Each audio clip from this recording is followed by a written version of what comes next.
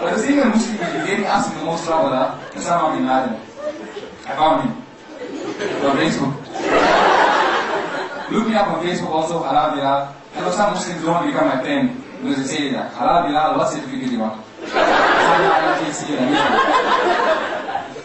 no, I tell you, Facebook is changing the way our generation interacts. Watch couple years time, the righties come home from school, they'll be like, Daddy, I met mommy.